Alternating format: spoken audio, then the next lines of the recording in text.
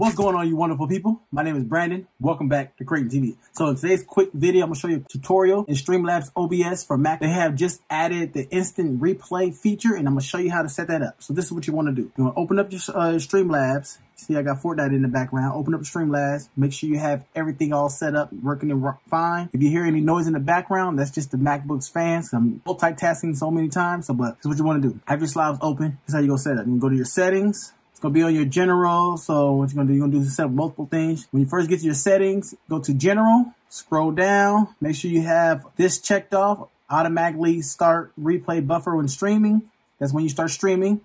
Um, you don't need anything else on. Uh, you can keep recordings when you stop streaming, but I just just make sure you have that on. You can set up everything else how you want to. Next, what you want to do is go to output, replay buffer. Now make sure you have it enabled. Mine right now is set to 10 seconds. Um, you shouldn't put it no longer than 30 seconds because Using this feature does take your RAM. So if you don't have a lot of RAM on your computer, um, keep it low or just don't use it at all. But I'm just showing you, here, you know, you can do now, you can do instant replays while you're live streaming. You feel me? And then after that, so then what you're gonna do from there, go to hotkeys, find it in wherever yours is at. Mine is Okay, so mine is, when I first start off, mine is right here where it says, first top, it says save replays. You know, you create a hotkey for your replay.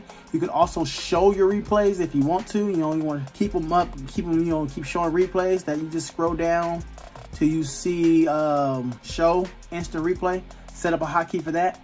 But once you got all that done, you're gonna hit done.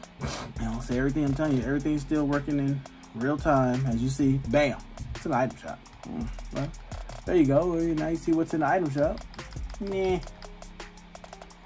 But back to talk. So, so after that, what you're gonna do, once you start recording, once you start recording, from there, you down here where it says test widgets, you will get a little uh, icon next to record where you can hit your instant replays and save your replays and everything else. It's just how you set it up. Uh, or you can use your hotkey that you use to set up. Mine, I use F1. And But before you start doing that, you have to add it as a source. So you click right here, scroll down to widgets, see where it says instant replay, add source. I already added it. I'm gonna show you what it looks like when you add a new source. This is what you pop, pop up. You can have it loop if you want to. Looping means it'll continue to keep, uh, continuously um, continue to play.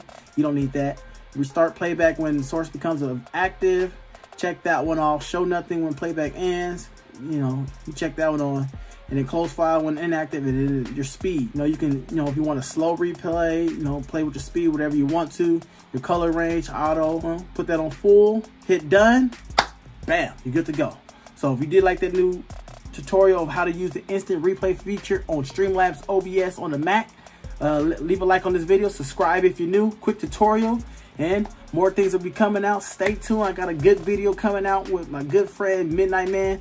Um, still working on that video, so stay tuned. That's going to be a real good uh, video. It's going to give everybody a little bit of eye-opener, so stay tuned for that video. Should be having it ready by next week. But if you did enjoy this video, like this video, subscribe if you're new.